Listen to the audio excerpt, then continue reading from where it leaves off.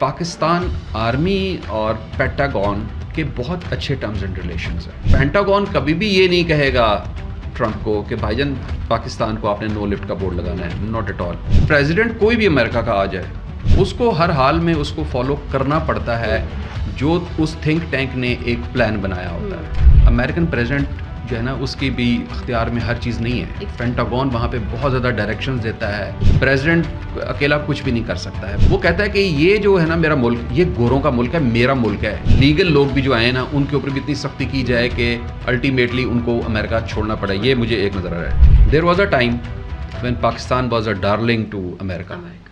अस्सलाम वालेकुम जी, मैं हूँ आपकी होस्ट इसमा शौकत और आज हम बात करने जा रहे हैं कि ऑफिशियली यूएस इलेक्शंस जो हैं वो डोनाल्ड ट्रंप जीत चुके हैं।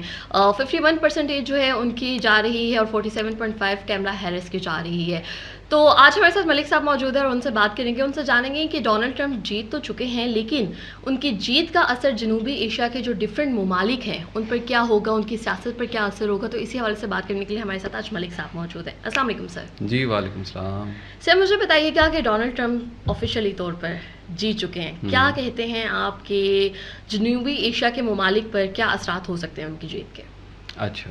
सबसे पहले तो आ, मैं आपका बहुत शुक्रगुजार हूँ। अर्ज़ पाकिस्तान का उन्होंने मुझे एक इंतहाई अहम टॉपिक पे बात करने के लिए बुलाया। आ, लेकिन जनूबी एशिया पे बात करने से पहले ना मैं सबसे पहले आपको थोड़ा सा एक उनका जो मेकनिज़म है अमेरिका का वो थोड़ा सा ज़रूर ब्रीफ करूँगा और मैं कोशिश करूँगा कि बात बहुत ही आसान और सादा तरीके से करूँ ताकि जो हमारे मुल्क में मैक्सिमम मेजॉरिटी जो है वो बात को समझ सके। हम्म। मैं बहुत ज़्यादा नीटी क्रीटी और बहुत ज़्यादा टेक्निकल डिटेल्स में नहीं जाऊँगा ताकि लोगों को समझ आ सके कि बात है क्या।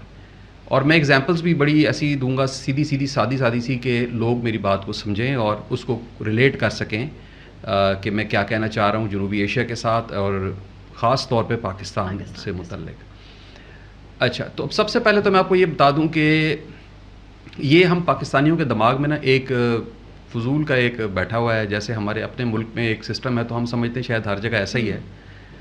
कि अगर एक पार्टी का लीडर मुल्क का हमारे पाकिस्तान का प्राइम मिनिस्टर बन जाता है तो वो अपनी जो पार्टी की जो उसकी लाइंस और डायरेक्शंस होती हैं उनको फॉलो करता है और मुल्क अमेरिका में ऐसा कुछ भी नहीं है।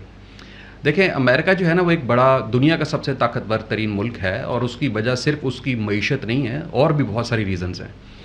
वो दुनिया के हर मुल्क पे ऑलमोस्ट कंट्रोल उसका है और उसकी वजह खुद अमेरिका का कोई प्रेसिडेंट नहीं होता उसकी वजह वो एक थिंक टैंक है जो सदियों से उनका काम कर रहा है हम्म। वो थिंक टैंक अगर एक बंदा रिटायर होता है या वो थिंक टैंक में से कोई एक बंदा फौत हो जाता है तो उनके पास बड़ा अच्छा उसका एक सूटेबल बंदा बैठा होता है जिसको वो ट्रेन हम्म। कर चुके होते हैं अमेरिका हर मुल्क के लिए अपनी एक डिफरेंट पॉलिसी बनाता है और वो जो पॉलिसीज़ होती हैं, वो अगर आज बन रही हैं तो वो किसी मुल्क के मुतलिक होंगी कि 10 साल के बाद हमने इनसे कैसे डील करनी है। और उसमें फिर मुख्तलिफ़ ऑप्शन बना लेता है कि अगर ये पार्टी का लीडर होगा तो हम ऐसे डील करेंगे, ऐसे डील करेंगे। अगर इस कंट्री के, इन, इस कंट्री के साथ टर्म्स एंड रिलेशन ऐसे हुए तो हम यूँ करेंगे। तो फ्रेंकली स्पीकिंग के प्रेसिडेंट कोई भी अमेरिका का आ जाए, वो उस पॉइंट ऑफ़ व्यू से हिल नहीं सकता। उसको हर हाल में उसको फॉलो करना पड़ता है। जो उस थिंक टैंक ने एक प्लान बनाया होता है। अच्छा दूसरी बात मैं ये बताऊँगा कि हमारे मुल्क में तो लोग बड़ा रोते हैं ना जी। इस्टेब्लिशमेंट तो इस्टेब्लिशमेंट तो इस्टेब्लिशमेंट चलाती है तो इस्टेब्लिशमेंट ये करती है तो इस्टेब्लिशमेंट वो करती है। तो इसी तरह ना मैं आपको एक बात बताऊँ कि अमेरिका में पेंटागॉन जो है ना अमेरिकन प्रेजिडेंट जो है ना उसकी भी अख्तियार में हर चीज़ नहीं है। पेंटागॉन वहाँ पे बहुत ज़्यादा डायरेक्शंस देता है बहुत ज़्यादा चीज़ों को हैंडल करता है। पेंटागॉन के डायरेक्ट रिलेशंस और लोगों के साथ टर्म्स होते हैं। पेंटागन का मुख्तलिफ़ ममालिक की जो आर्मी के जो चीफ होते हैं ये आपस में इंटरेक्ट करते हैं। इनके मिलिट्री ऑपरेशंस के डी जो होते हैं वो डायरेक्ट इन कॉन्टैक्ट होते हैं विद ईच अदर तो ये चीज़ जो है ना एक आप इसको एज ए सिंगल चीज़ नहीं ले सकते कि प्रेसिडेंट जो है ना वो डिसाइड कर लेगा कि जी मैंने जनूबी एशिया में क्या करना है। प्रेसिडेंट अकेला कुछ भी नहीं कर सकता है। प्रेसिडेंट ने जो भी करना है वो सबसे पहले तो ये है कि उसको एक थिंक टैंक उसका पेंटागन वो क्या कहता है कि मैंने कैसे करना है? और उसके बाद वो कोई एक्शन ले सकता है। उसकी ये ख्वाहिश जो है ना दिल में रहे तो रहे बेशक कि जी मैंने जो है ना इंडिया को जो है ना उठा के आसमान पे ले जाना है और मैंने इंडिया को जफे मारने और मैंने इंडिया का पता नहीं मैं इस तरह बिल्कुल लाइक वन हम चल सकेंगे? नहीं।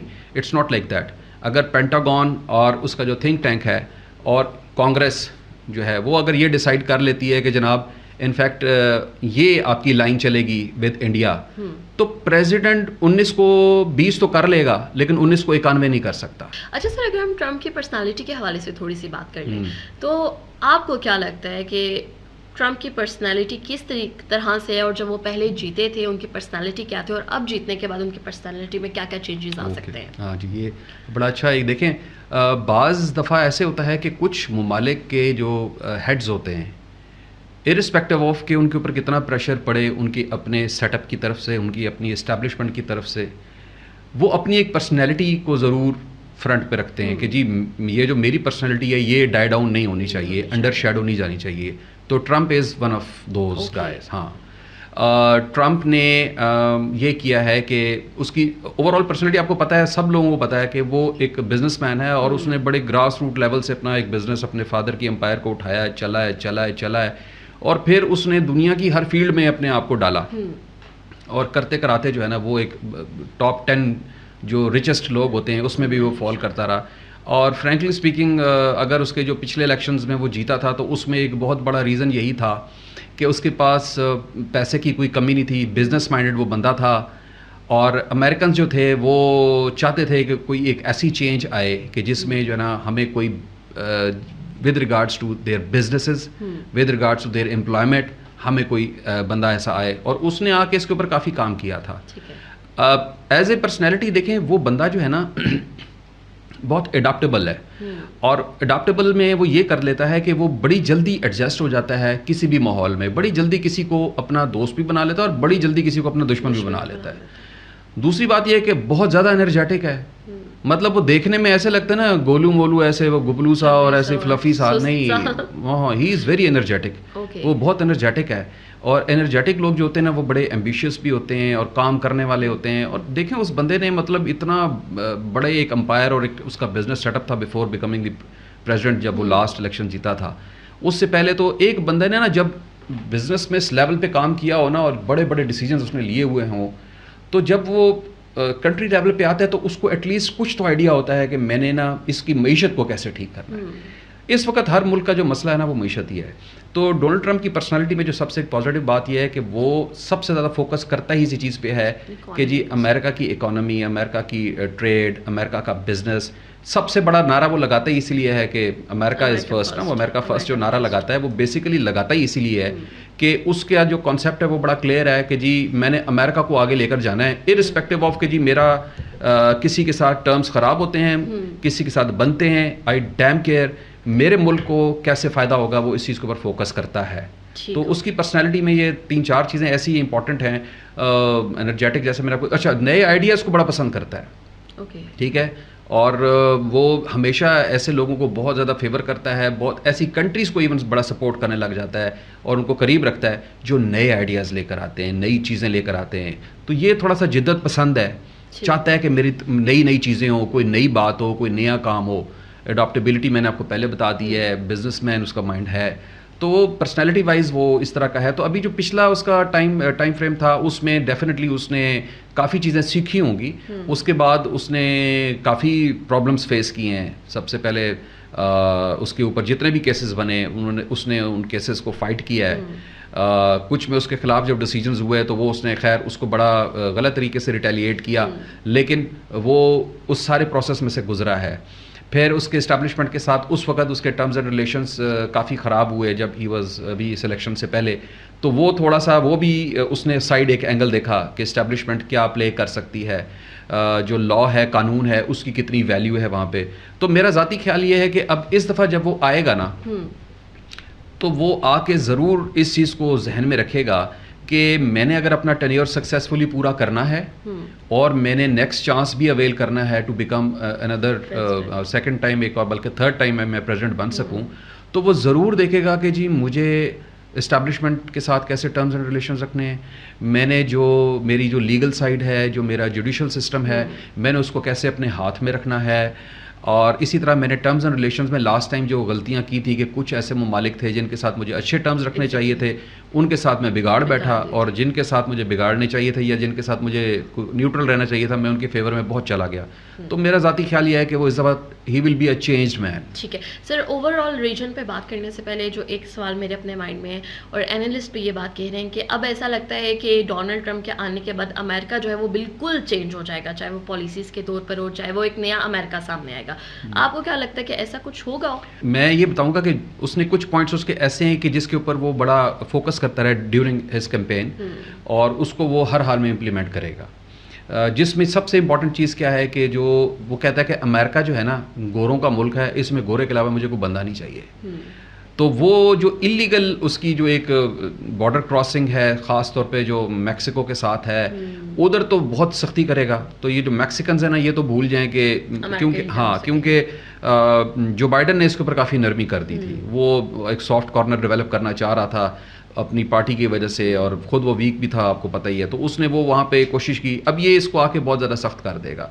उसके अलावा वो लीगली भी वो कह तो रहा है कि जी मैं बड़ा इजी कर दूँगा लोगों के लिए या मैं लीगली लोगों को वेलकम करूँगा but it will not be like that वो लीगली भी इन चीज़ों को बड़ा क्यों? वो कहता है कि ये जो है ना मेरा मुल्क, ये गोरों का मुल्क है, मेरा मुल्क है, मेरे अमेरिकन का मुल्क है। वो बार बार इसको बड़ा फोकस कराता है अमेरिकन को बार बार कहता है कि ये हमारा मुल्क है, मेरा मुल्क है, तुम्हारा मुल्क है। लिहाजा ये जो बेचारे हैं ना ब्रिटिश ब्लैकिश हम्म, और हाँ ब्राउनीज आप कह सकती हैं। ये बेचारे जो है ना बस अपनी थोड़ी सी खैर मनाएँ। हम्म। ये आहिस्ता आहिस्ता इंप्लीमेंट करेगा कुछ ऐसे रूल्स रेगुलेशंस के लीगल लोग भी जो आए ना उनके ऊपर भी इतनी सख्ती की जाए हम्म। कि अल्टीमेटली उनको अमेरिका छोड़ना पड़े। ये मुझे एक नज़र आ रहा है। दूसरी चीज़ जो अच्छी मुझे नज़र आ रही है कि जो होना है वो ये है कि इस वक्त अमेरिका में ना महँगाई बहुत ज़्यादा जा चुकी है। अच्छा। मतलब बहुत ज़्यादा महँगा हो गया। अमेरिका में जो अमेरिकन में अमेरिका में जो लोग रहते हैं पाकिस्तानी आप उनसे पूछें तो वो हैरान होते हैं। वो कहते हैं यार आप लोग तो जन्नत में रह रहे हो। मतलब जो चीज़ें आप जिस अमाउंट में ख़रीद रहे हो हम यहाँ सोच भी नहीं सकते। तो अमेरिका में बहुत ज़्यादा महँगाई हो गई है। वो डेफिनेटली अपनी वो आ, अपना कोई ऐसा बेस्ट बंदा लगाएगा जो बेसिकली वज़ीर ख़जाना होगा उसका कि जो इन इस चीज़ को कवर करे कि मैंने महँगाई कैसे कम करनी है। इसी तरह जो थर्ड मेन चीज़ है ना वो है अनएम्प्लॉयमेंट हम्म। इस वक्त अमेरिका में आप जो उनकी जो मेन उनकी जो स्टेट्स हैं उनके जो कैपिटल्स हैं आप यकीन करें वहाँ का अगर आप डाटा निकलवा के देखें आप हैरान होंगे कि कितने लोग हैं जो रोज़ लाइनों में लग के खड़े हुए दरखास्तें दे रहे हैं जॉब्स की हम्म। कितने लोग हैं जो रातों को बाहर सोते हैं? ये ये चीज़ें वो लोग दिखाते नहीं है इमेज तो बड़ा सामने हाँ वो तो हम बेवकूफ़ हैं कि हम पाकिस्तान की असल शक्ल दिखाने की बजाय गलियों में घुस घुस के मीडिया हमारा जो है ना दिखाता है कि जी पाकिस्तान ये है। तो ये हमारी बेवकूफ़ी है। हम्म। वरना सच्ची बात बताऊँ आपको ना इंडिया ये करता है और ना अमेरिका करता है इवन चाइना नहीं करता। आपको क्या पता चाइना के अंदरूनी हालात क्या हैं? लेकिन चाइना भी अपना पिक्चर मीडिया मीडिया आपका मुँह मत्था होता है आपके मुल्क का। तो हमारा मीडिया जो है ना वो गलत चीज़ें दिखाता है गलत चीज़ को दिखा रहे होते। हैं हम्म। अच्छा सर ओवरऑल रीजन्स के हवाले से बात कर लेते हैं और सबसे पहले हम्म। बात करेंगे हम पाकिस्तान के हवाले से। आपको क्या लगता है कि डोनाल्ड ट्रंप के आने के बाद पाकिस्तान के किस तरह से ताल्लुक जो हैं वो अमेरिका के साथ बिल्डअप होंगे और फॉरेन पॉलिसीज़ हमारी क्या हो सकती हैं और क्या होनी चाहिए। अच्छा देखें पहली बात तो यह है कि there was a time when Pakistan was a darling to America और उसका एक बहुत बड़ा रीज़न जो है ना वो अफ़गानिस्तान था।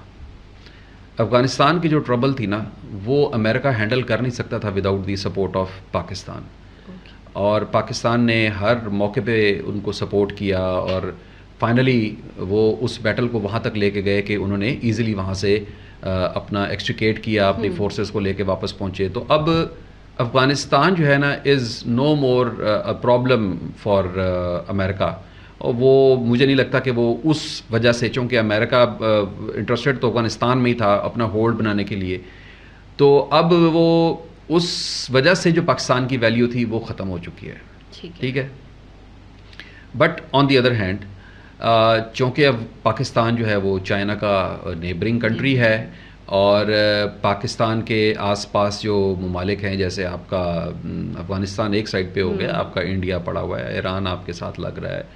तो ये अगर हम जियोग्राफिकल पाकिस्तान की लोकेशन देखते हैं तो पाकिस्तान को कोई बिल्कुल ऐसे भी नहीं कर सकता कि जहाँ मैं तेरे नाल नहीं बोल दी। ऐसा भी चक्कर नहीं हाँ नहीं ऐसा नहीं कर सकेगा। लेकिन उसके लिए बड़ा ज़रूरी ये है कि हम जो है अपने अपनी फॉरेन पॉलिसी वो इतनी अच्छी रखें कि हमें हमें ये ना हो कि अमेरिका हमें किसी दिन ना बिल्कुल मुँह के ऊपर ये कहने लग जाए कि जी you are no more in my life ठीक है? हमें करना ऐसा है ऐसे टर्म्स एंड रिलेशन रखने हैं कि अमेरिका को हमेशा यही लगे कि मुझे पाकिस्तान को साइड लाइन नहीं हम्म। करना।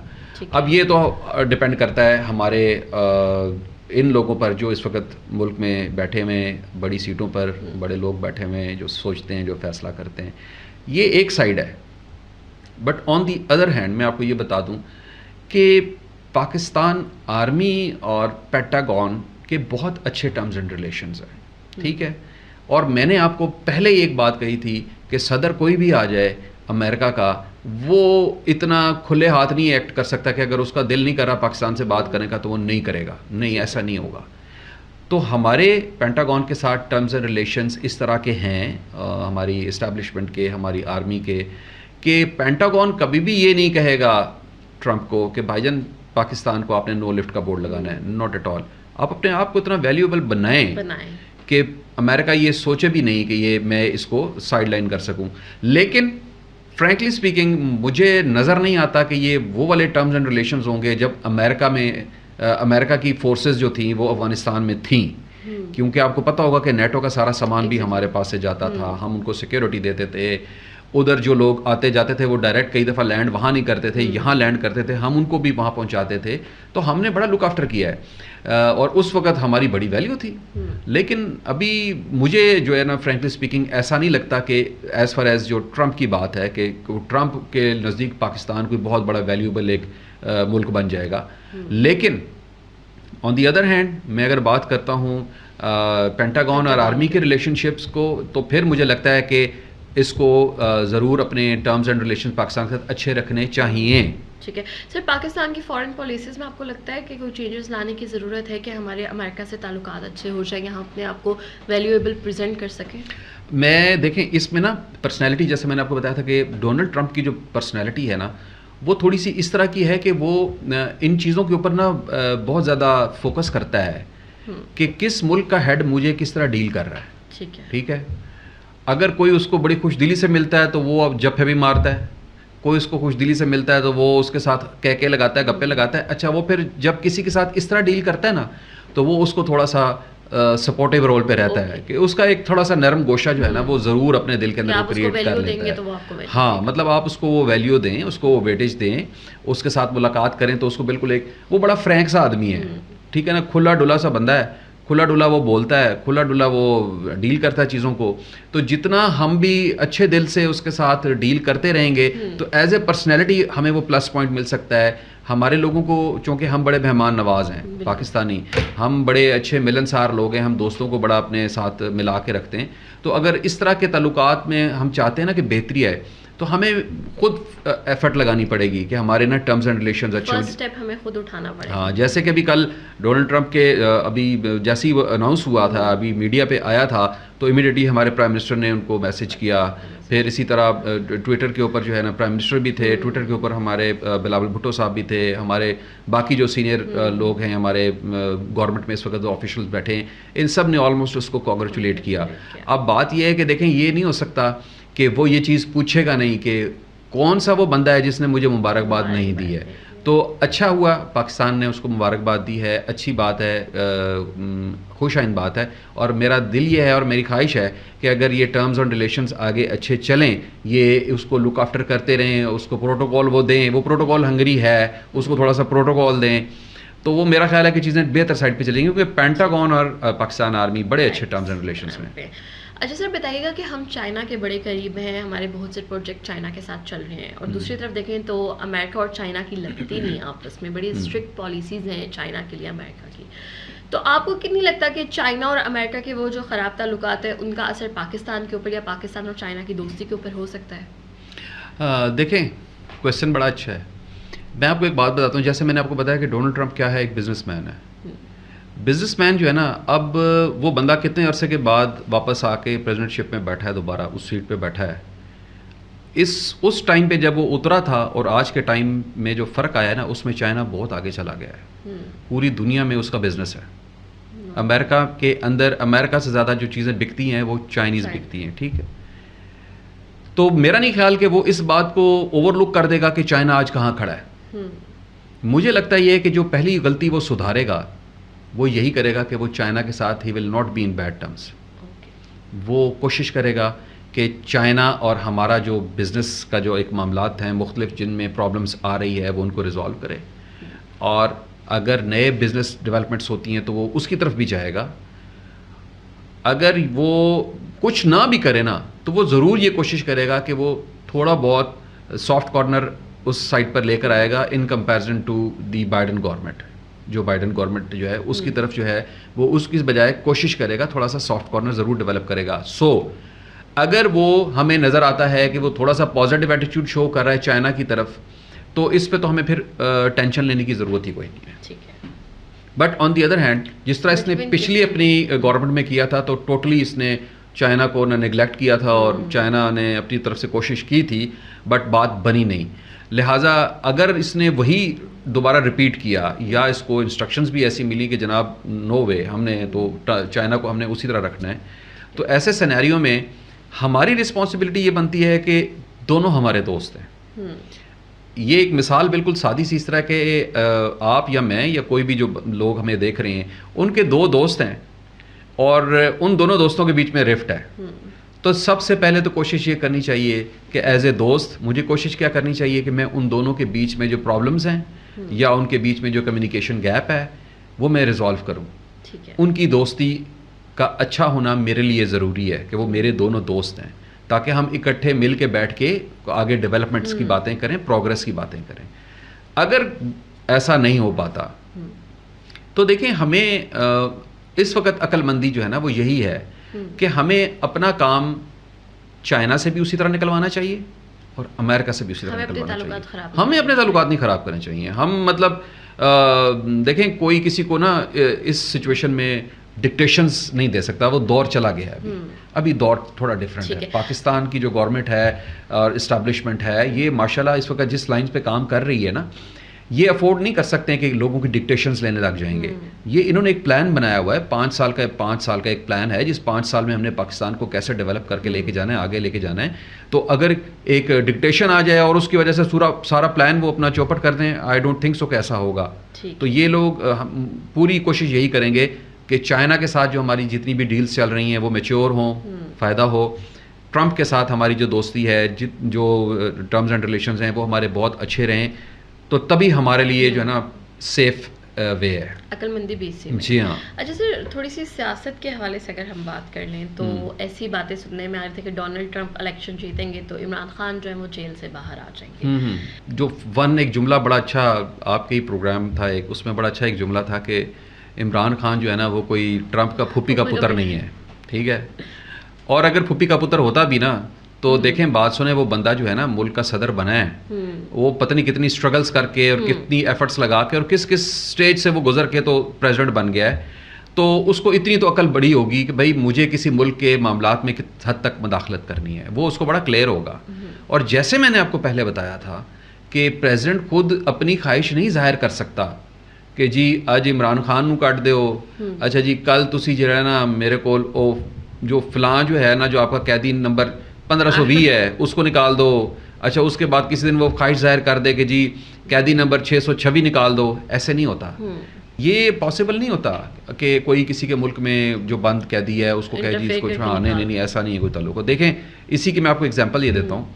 हमारी बहन आफिया सदीकी हम्म, पाकिस्तान की हर गवर्नमेंट ने कोशिश की हम्म, कि किसी तरीके से यार वो हम उसको निकलवा सकें। लेकिन हम नहीं निकलवा सके। रीज़न बीइंग उनके मुल्क का एक कानून है उनके मुल्क का एक रूल है उनके मुल्क का एक रेगुलेशंस हैं उसको कोई भी प्रेसिडेंट आके डिनाई नहीं कर सकता। जब वो अपने मुल्क में हर कानून को बड़े स्ट्रिक्टली इम्प्लीमेंट करते हैं तो वो क्यों पाकिस्तान के लिए ये करेंगे चाहेंगे कि जी हम पाकिस्तान का रूल है और जो लॉ है ना उसको तबाह कर दें उसको बर्बाद कर दें इंस्ट्रक्शन दे दें। तो ये सिर्फ़ खाम ख्याली है कोई चेंज नहीं आएगी। जो चीज़ जैसी है वो वैसी ही रहेगी। ये पीटीआई वालों के ना ये मुख्तलिफ़ ख्वाबों का एक सिलसिला है। जो चलता ही आ जो चलता ही आ रहा है ये इनका एक आखिरी ख्वाब था जिसमें ये लोग कह रहे थे कि बस अल्लाह करे कि ट्रंप आ जाए और हमारा ये ख्वाब जो है ना पूरा हो जाए ये हमारे सपने जो है ना। तो ऐसा होना कुछ भी नहीं है। ट्रंप जो है ना वो दोबारा फिर बोलूँगा वो खान साहब का भूपी का पुत्र नहीं है। नहीं है। ख्वाब ख्वाब ही रहेंगे सर अब बात कर लेते हैं इंडिया के हवाले से। जी। इंडिया जो है वो बड़ा करीबी दोस्त माना जाता है अमेरिका का। और हम्म। अमेरिकन भी हम देखते हैं कि डोनाल्ड ट्रंप जब अपने पहले दौरे हुकूमत में थे तो उनकी बड़ी ही साइड लेते थे हम्म। फेवर लेते थे। हम्म। अब कैसे ताल्लुकात आप देखते हैं? डोनाल्ड ट्रंप दोबारा जीत चुके हैं इंडिया और अमेरिका के। हाँ जी ये इस दफ़ा बड़ा चेंज आप देखेंगे। पॉजिटिव नेगेटिव नेगेटिव कैसे? अच्छा मैं आपको बताता हूँ। दोस्त दोस्त ना रहा। दोस्त दोस्त ना रहा वाला चक्कर ही नहीं है मैं आपको बताता हूँ। देखें अमेरिका ने ना ख़ास तौर पे अपना ट्रंप ने मैंने आपको बताया था कि उसने बार बार ये एक बात क्या कही है? ये मुल्क हमारा है हम गोरों का है। हम्म। ठीक है? आप कभी डाटा एंड फिगर्स निकाल के देखें यू विल बी सरप्राइज्ड कि इस वक्त अमेरिका में आईटी की फ़ील्ड में खाली कितने ज़्यादा एक क्वांटिटी है जो कि इंडियंस की वहाँ पे आके ना जम के बैठ गई है। ठीक है? तो ये जो बार बार वो आवाज़ें लगा रहा है ना हम्म। तो वो इंडिकेटर बेसिकली दे रहा है तमाम उन ममालिक को जो आके वहाँ पे बैठे हैं और कोशिश कर रहे हैं कि जी हम गोरों की सीटों पे बैठ जाएँ गोरे धक्के खाएँ। मैंने आपको कहा ना लाइनें लगी हुई हैं। तो गोरे धक्के क्यों खा रहे हैं कि वहाँ की जो इंपॉर्टेंट सीट्स हैं उस पे आके फ्रैंकली स्पीकिंग हम्म। इंडियंस ने सबसे ज़्यादा वहाँ पे जो है ना कब्जा किया। किया हुआ है इस वक्त। इंडियंस जो है वो आईटी की फ़ील्ड में चूँकि बहुत आगे चले गए हैं हम सबको पता है। इंडियंस ने अमेरिका यूके कनाडा हम्म ये तो तीन आपके ये वाले मेजर कंट्रीज़ हो गए जहाँ पे भरमार है। आप किसी दफ्तर में चले जाएँ आपको किसी वाइट कॉलर जॉब पे आप नज़र डालेंगे ना वो एक इंडियन बैठा हुआ होगा। ठीक है? फिर उन्होंने पकड़ लिया था सारा ये यूएई पकड़ा उन्होंने इवन सऊदी अरब पकड़ा उन्होंने कतर पकड़ा ये उस साइड पे निकल गए। मैं आपको बता रहा हूँ कि डोनाल्ड ट्रंप ने इस दफ़ा जब आना है तो उसने अपनी जो बेसिकली इमिग्रेशन की जो पॉलिसीज़ है ना उसको बहुत ज़्यादा उसने रिवाइज कर देना है। बहुत उसमें चेंजेस लानी है। और उसने इमिग्रेशन के ऊपर कोई बड़ा टफ बंदा बिठाना है इस दफ़ा हम्म। लिहाजा उस इमिग्रेशन रूल्स एंड लॉज के तहत सबसे ज़्यादा डैमेज जो है ना वो इंडिया होगा। और ये इंडियंस जो बैठे हैं यहाँ पे सद, सालों से पहले तो इनको वो किक आउट करने की कोशिश करेंगे। हम्म। सेकंड ये जो टोकरे के टोकरे और जहाज़ों के जहाज़ भर के आ रहे थे ना अमेरिका अमेरिका में ये बंद हो जाएगा। बंद हो गया अब इंडियंस की वहाँ पे सांस सूखती है। हम्म। ठीक है मोदी साहब जो है ना वहाँ पे मारेंगे जंपें छलांगे मारेंगे। मोदी साहब को जनाब इंडियंस ने पकड़ लेना है गर्दन से कि जनाब आप तो कह रहे थे मेरा यार है तो मेरा दोस्त है वो जफ्फे जो थे ना मारे थे वो भी अगर आप उसको देखें ना वो मोदी साहब ने ज़बरदस्ती उसको खींच के लगाया था अपने गले he was not interested hmm. तो वो जफे शफे उसने जो मारे थे वो ज़बरदस्ती वाली बात है जो मैंने आपको अभी कही कि उसके साथ थोड़ा सा इस तरीके से भी बर्ताव करना पड़ता है तो वो सॉफ्ट तो हाँ वो कर देता है। तो वो मोदी ने वही हरकत की थी। हम्म। और उसकी वजह से वो सॉफ्ट कॉर्नर थोड़ा सा डेवलप कर गया था और फिर वो उसके जो है ना टर्म्स एंड रिलेशन इसमें कोई शक नहीं बेहतर थे। लेकिन इस बात की वजह से इमिग्रेशन पॉलिसी की वजह से इंडियंस के बाहर निकलने की वजह से नए इंडियंस के ना आने की वजह से इंडिया और अमेरिका के टर्म्स एंड रिलेशन अच्छे नहीं रहेंगे। अच्छा सर बताइएगा कि ये जो दोबारा ट्रंप के आने से पाकिस्तान और इंडिया के रिलेशनशिप्स पे क्या असर हो सकता है? देखें ट्रंप के आने से मैं अगर फ्रैंकली स्पीकिंग इस पर बात करूँ तो इस वक्त जो है ना दोनों कंट्रीज़ की जो है हमारी जो फॉरेन पॉलिसीज़ है ना वो बहुत ज़्यादा चेंज हो चुकी है। ठीक है। एक दौर था जब इसमें हम जिस लाइन में भाग रहे होते थे जिस कंट्री की तरफ़ हमारी स्पीड होती थी ये इंडियंस हमारी कॉपी करके ना ये भी उधर भाग पड़ते थे। ठीक है? बट अब with the passage of time और जो हमारे फाइनेंशियल सिचुएशंस हमारी हुई हैं पिछले पास्ट सिक्स सेवन ईयर्स उसमें जो हमारे हालात हुए फिर वो हमारे बाकी रही सही कसर जो है ना वो खान साहब के आके फॉरेन पॉलिसी ने पूरी कर दी। जो उनके फॉरेन मिनिस्टर्स थे बाकी रही सही कसर उन्होंने पूरी कर दी। हम्म, तो पाकिस्तान जो है ना वो एक थोड़ा सा ना उस फैक्टर में चला गया कि यार they are not very good in foreign relationship hmm. Whereas India ने क्या किया? इंडिया ने ये किया कि इंडिया ने अपना सबसे ज़्यादा जो वीक एरिया था वो इनका यही था। कि इनके जो है ना मुख्तलिफ़ ममालिक के साथ वो टर्म्स एंड रिलेशन नहीं बनते थे बिकॉज़ जो एक इनका एक हिंदू माइंड है ना वो हर किसी को एक्सेप्ट नहीं होता। ना गोरा एक्सेप्ट उस तरह करता है ना ना आपका अरब जो है कंट्रीज़ जो है वो एक्सेप्ट करते हैं। क्योंकि आप जो है ना जो हिंदू है ना वो एक्स्ट्रा चापलूस है। हिंदू जो है वो एक्स्ट्रा वो मतलब देखें सॉरी टू से लेकिन जो भैंसों का मूत्र पीने वाले लोगों के साथ ना हर बंदा नहीं मुँह जोड़ के बैठ सकता। तो अभी मेरा ये जो कहने का पॉइंट ये है कि मैं ये कहता हूँ कि इंडिया और पाकिस्तान के आपस के जो रिलेशनशिप्स हैं ना इसके ऊपर मेरा नहीं ख्याल कि अमेरिका को कोई इशू होगा या कोई परेशानी होगी या वो अमेरिका इंडिया को कहेगा कि make a good terms make good terms with Pakistan या वो पाकिस्तान को कहेगा कि you should be in good relation with India कुछ भी नहीं ऐसा होगा। क्यों? देखिए ट्रंप आके पहले तो ना उसने साल एक लगाना है टोटल अपने मुल्क अपनी इकोनॉमी अपनी जो है ना जो उसकी पॉलिसीज़ हैं उनको उसने इतना स्ट्रेंथन करना है कि वो इस तरफ़ देखेगा भी नहीं हम्म। कि ये कौन लोग हैं अच्छा सर मुझे बताइएगा कि जिस तरह से डोनाल्ड ट्रंप और इंडिया के पहले ताल्लुक बहुत बेहतर थे जो गुजशत एक हुकूमत गुजर चुके डोनाल्ड ट्रंप की तो वो इंडिया इस बेस पे पाकिस्तान को दबाने की कोशिश करता था भड़के मारता था उसको लगता था कि कहीं ना कहीं अमेरिका पीछे स्टैंड कर रहा है। उन भड़कों में कोई कमी वाक़ होगी इस दफ़ा के टेन्योर में? नहीं भड़के तो इंडिया की हमने काफ़ी अरसे से बंद करवा दी हैं अगर आप अगर गौर करें। हम्म। बिकॉज़ पाक मतलब पाकिस्तान की जो आर्मी है पाकिस्तान की इस्टबलिशमेंट पाकिस्तान की तमाम लॉ लॉ इन्फोर्स एजेंसीज जो हैं और जुडिशरी गवर्नमेंट ये सब एक पेज पे हैं। हम्म। तो आपका दुश्मन जब ये देख रहा है कि ये सारे एक पेज पे हैं तो वो फिर बढ़के मारना बंद कर देता है। उस वो बढ़के हमेशा तब मारता है जब वो ये देखता है कि there is something something going on between the government and the army this is the best time कि हम कुछ करें। वो हमेशा तब कोशिश करता है जब वो ये देखता है कि जी मुल्क में ना कहीं दराड़ें पड़ी हुई हैं तो वो तब ये कोशिश करता है बढ़ के मारने की। इंडिया जो है ना वो बढ़ के मारने उसने बंद कर दिए हैं। वो उसको बड़ा क्लियर हो गया है कि ये जो प्रेजेंट चीफ इनका आया है इसका मकसद क्या है? ये किस तरह फौज को ट्रेन कर रहा है? हम्म। ये क्या काम कर रहे हैं? ये न्यूक्लियर में कहाँ तक पहुँच चुके हैं? तो अब वो दौर नहीं रहा। देखें बात बड़ी सीधी सी है। आपके पास भी पिस्टल हो और मेरे पास भी पिस्टल हो ना तो सबसे सबसे कम चांस है कि मैं आपको मारूं और आप मुझे मारें। हम्म। आपके पास पिस्टल नहीं होगा ना फिर बहुत चांस है कि मैं आपको मार दूँ। तो उसको अच्छी तरह पता है कि इनके पास पिस्टल नहीं इनके पास जो है ना मशीन गन है। लिहाजा वो मेरा नहीं ख्याल कि वो बड़कें सड़कें कोई नहीं इनकी बड़कों पे तो नहीं। और लेकिन जहाँ आप बात करती हैं डोनाल्ड ट्रंप की तो मैंने वो आपको पहले भी बता दिया है कि मेरा नहीं ख्याल कि डोनाल्ड ट्रंप जो है ना वो इंडिया को वो डिक्टेट करेगा या इंडिया को कोई ग्रीन सिग्नल देगा हम्म। कि तुम पाकिस्तान के ऊपर। डोनाल्ड ट्रंप की एक बहुत बड़ी क्वालिटी क्या है? वो जंगों के हमेशा मुखालिफ रहा है। हम्म। ठीक है? और वो जंग के मुखालिफ रहने की उसकी वजूहत भी वही हैं इकॉनमी कि यार हम किसी एक जंग में पढ़ते हैं तो उसकी कितना बड़ा फैक्टर जो है ना वो हमारा लॉस ऑफ़ एक ह्यूज अमाउंट ऑफ़ इकोनॉमी जो है ना हमारे ऊपर बड़ा असर पड़ता है। हम्म। दूसरा अमेरिकन की जाने जाती हैं। ठीक है ना? एक जंग में जब वो घुस जाते हैं तो ये तो नहीं हो सकता कि सत्तर लाख बंदा गया तो सत्तर का सत्तर वापस आ जाएगा ऐसा तो नहीं होता। उनके बंदों की जाने जाती हैं। हम्म। तो ये वो कंट्री है ये वो मुल्क है ये वो कौम है जो कि एक कुत्ते और एक बिल्ली के लिए इतनी परवाह करते हैं और आँखों से रोते हैं। हम्म। तो एक इंसान के जाने पर क्या करते होंगे? तो ये दो फैक्टर्स हैं।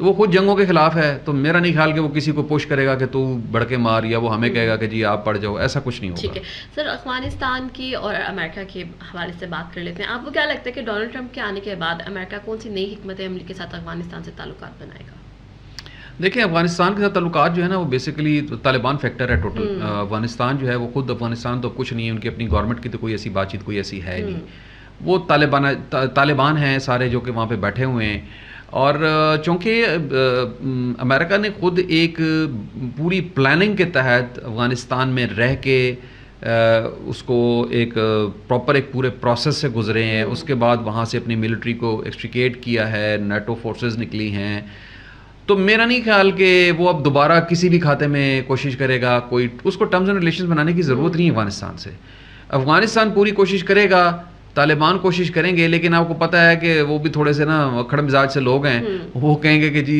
मैं क्यों ऐसी उस अमेरिका के साथ टर्म्स एंड रिलेशन रखूँ हम्म। कि जो पहले मेरे मुल्क में इतने अरसे घुसे रहा है। तो मेरा नहीं ख्याल कि ये कोशिश करेंगे कि जी वो अमेरिका हमसे टर्म्स रखे और ना अमेरिका कोशिश करेगा कि अफ़गानिस्तान हमसे टर्म्स रखे। सर अमेरिका से ईरान के ताल्लुक आप किस तरह से देख रहे हैं आप? आ, कुछ ममालिक ऐसे होते हैं दुनिया में कि दुनिया का किसी भी मुल्क में कोई प्रेसिडेंट आ जाए हम्म। वो उनका कुछ मतलब नहीं कर सकते। ठीक है?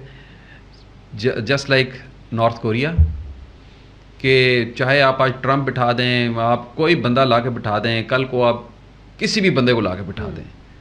वो नॉर्थ कोरियन है वो अपने एक मिजाज में चलने वाले लोग हैं। वो किसी को ना फॉलो करते हैं ना किसी की सुनते हैं ना किसी को जवाब दें वो इस तरह के लोग हैं। तो अनफॉर्चुनेटली कहूँगा ईरान भी कुछ इसी किस्म का मिजाज रखता है। ठीक है कि ईरान भी कहता है कि जी मैं अपने आप पे हूँ मैं जानूँ मेरी कौम जाने मेरा मुल्क जाने मुझे किसी को ख़ास लेने देने की ज़रूरत है नहीं। लेकिन ये फैक्ट नहीं है। देखें ईरान को समझना चाहिए हालात को मामला को चीज़ों को। देखें आप दरिया में रहते हुए ना मगरमच्छ से वैर नहीं ले सकते। ठीक है तो ये बड़ा ज़रूरी है कि जी बंदा ये देखे कि यार मेरी जो कंट्री के हालात हैं वो किस हद तक डिस्टर्ब हो रहे हैं। आपने जो भी सिचुएशन आपकी क्रिएट हुई है अभी रिसेंटली जिस तरीके से आपके ऊपर इसराइल ने अटैक किया है फिर आपने भी डेफिनेटली आपके बड़े जो लीडर्स थे वो सो हम्म। कॉल जो आपने बताया है कि जी वो कंफर्म इसराइल ने मरवाए हैं और इसराइल वालों ने कुछ एक्सेप्ट भी किए हैं और अभी जो आपके इसराइल के साथ जिस तरह के टर्म्स एंड रिलेशन चल रहे हैं हम्म। तो देखें मैं आपको एक बात बताता हूँ कि इसराइल के ऊपर सवाए अमेरिका के तो किसी का हाथ है ही नहीं। अगर फ्रेंकली स्पीकिंग बताऊँ तो America is the only country जो कि बेसिकली इसराइल उसका बच्चा है। hmm. अब अमेरिका अपने बच्चे को ज़्यादा सपोर्ट करेगा या उसको जो उसको मार रहा है? hmm. बड़ी सीधी सी बात है। मेरा बच्चा आपका बच्चा बाहर गली में खेल रहा है किसी से उसकी लड़ाई हो गई है तो मैं जाके अपने ही बच्चे को सपोर्ट करूँगा। मैं क्यों जाके सपोर्ट करूँ? उसको जो उसको उसको मार रहा है। चाहे वो दोनों एक दूसरे को मार रहे हैं और ये भी हो सकता है कि मेरा ही बच्चा उसको ज़्यादा मार रहा हो मगर मैं जाके फिर भी सपोर्ट अपने बच्चे की करूँगा। तो यही बात यहाँ पे इम्प्लीमेंट होती है। हम्म। ईरान को थोड़ा रियलाइज़ करना चाहिए कि अगर हाँ। देखें ईरान का किसी भी अमेरिकन गवर्नमेंट के साथ कभी भी टर्म्स एंड रिलेशन ज़्यादा अच्छे नहीं रहे। हम्म। और यही फैक्टर जो है ना पाकिस्तान के साथ भी उसका लग जाता है। पाकिस्तान के साथ भी अगर आप फ्रेंकली स्पीकिंग हम पूरी कोशिश करते हैं कि बीइंग अ मुस्लिम ब्रदर अपना नेबरिंग कंट्री हमारे टर्म्स एंड रिलेशन ईरान के साथ बहुत अच्छे रहें। लेकिन ईरान को आई डोंट नो क्या उनकी एक प्रॉब्लम है? क्या उनके अंदर एक वो एक उनके दिमाग में एक मतलब भूसा भरा हुआ है क्या है कि कुछ अर्सा गुजरते हैं और वो फिर उसके बाद फिर कुछ शरारतें शुरू कर देते हैं। बलोचिस्तान हमारा बड़ा डिस्टर्ब हुआ है बिकॉज़ ऑफ़ ईरान। तो मेरा ज़ाती ख्याल ये है कि ईरान को थोड़ा सा ना होश के नाखुन लेने चाहिए थोड़ा समझे कंट्रीज़ के साथ जितनी कंट्रीज़ हैं उनके साथ टर्म्स एंड रिलेशन अच्छे रखे हम्म। और अमेरिका के साथ ख़ास तौर पे उसके टर्म्स एंड रिलेशन अच्छे होने चाहिए अमेरिका का झुकाव ईरान की तरफ़ बिल्कुल भी नहीं होना होगा ये मैं आपको पहले बता रहा हूँ। ईरान को चाहिए कि अपने हालात ठीक करे। जी अमेरिका उनकी तरफ़ कभी भी नहीं जाएगा। ठीक है। सर ट्रंप के पहले दौरे हुकूमत में हम देख रहे थे कि मुस्लिम ममालिक को लेके वो बड़ा सख्त मौकफ इख्तियार करते थे। हम्म। आपको लगता है अब वो सख्त मौकफ थोड़े नरमी की तरफ़ जाएगा? तमाम इस्लामिक हाँ, बिल्कुल जाएगा। आपने देखा होगा कि इन जितनी भी उसकी कैंपेन चली है उस कैंपेन में उसने बड़ी दफ़ा ये बात कही है और इसको बहुत ज़्यादा मुस्लिम मेजॉरिटी का वोट मिला है हम्म। और ये जो मुस्लिम मेजॉरिटी है जिसने उसको वोट किया है और जिस तरह वो कैंपेन में उनको शुक्रिया अदा करता रहा। है तो मेरा जो अभी तक का जो मेरा एनालिसिस है वो ये है कि बेसिकली अमेरिका जो अभी प्रेसिडेंट अमेरिका का जो भी है आएगा ट्रंप आ जाएगा या कोई भी आ जाता इवन कैमला हैरिस भी आ जाती तो मैंने आपको ये बताया कि उनका जो थिंक टैंक है ना वो पॉलिसीज़ बनाता है अब यह है कि ट्रंप चूँकि उसने बातें की हैं तो वो डेफिनेटली कोशिश तो करेगा कि जी मैंने जो बातचीत की है या जितने मुझे वोट पड़ा है मुस्लिम्स हम्म। का तो मैं उस साइड पे ज़रा सोचूं कि मैंने देखना है कि क्या करना है बट हम्म। जैसे ही फ़लस्तीन की बात आती है तो फिर अमेरिका बिल्कुल शेप ही चेंज कर देता है अपनी शक्ल ही चेंज कर देता है तो अब पाकिस्तान अब जो जितने भी